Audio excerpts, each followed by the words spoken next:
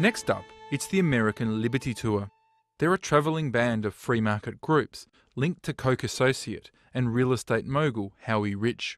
The group has been crossing the country, holding evening rallies and training a new generation of internet activists, including this session by American Majority's Austin James on guerrilla internet tactics to advance free market ideas. We're going to go on this we're calling it the American Liberty Tour, where we go to 18 cities.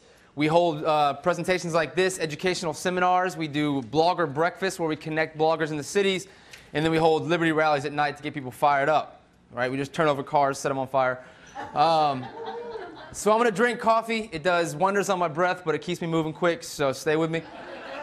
Over 200 years ago, guys, a group of people just like you did something extraordinary. Ordinary people doing extraordinary things. They were activists, just like you. I truly believe that. They were activists then. We are activists now. Make no distinction about it. So, what do we do? We become digital activists. We identify the medium, we learn the medium, we manipulate the medium. It was printing presses then, it's the internet now. That's where we influence the hearts and minds of our fellow citizens. The Tea Party's got us running up the hills. American majority is trying to give you the tools, the muskets, right? So, here's what I do I get on Amazon, I type in liberal books.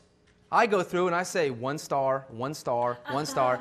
the flip side is you need to go to a conservative, libertarian, whatever, um, go to their products and give them five stars. Okay? So literally, 80% of the books I, uh, I put, a, uh, put a star on, I don't read. So that's how it works. Okay?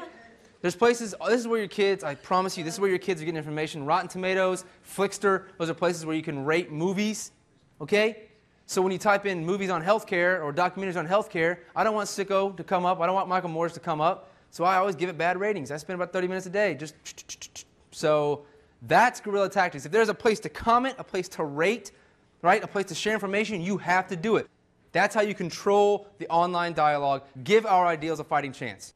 The principles that I believe strongly in, that the founders believed strongly in, were the idea of individual liberty, rule of law, limited government, the free market system. There are correlations. Free market, religious, and personal freedom. We lose the free market, we will lose personal religious freedom. That's why we fight for it.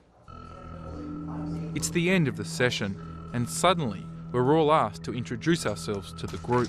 I've thrust my camera phone into the hand of the lady sitting next to me. As I rack my brains about what to say, I'm just hoping I don't blow my cover. I've been to, I was at the 912, I've been to the Louisville um, Tea Party Express, um, I've been to lots of different grassroots movements and events, and just to say that you guys are amazing and bring on the second revolution.